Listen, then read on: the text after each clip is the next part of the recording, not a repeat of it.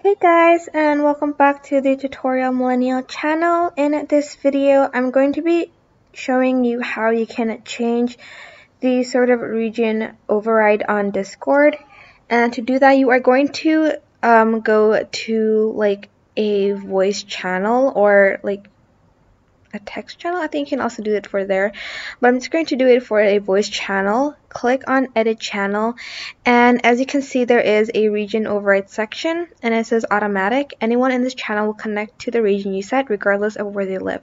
Regions affect voice and video quality. Leave it on automatic and Discord will figure out what works best. So for instance is it's on automatic and the server isn't that great so you can pick from these regions. There's Brazil, Hong Kong, India, Japan, Rotterdam, Russia, Singapore, South Africa, Sydney, US Central, East, South, and West. So for instance, you live closest to this region, you're just going to select that and save changes.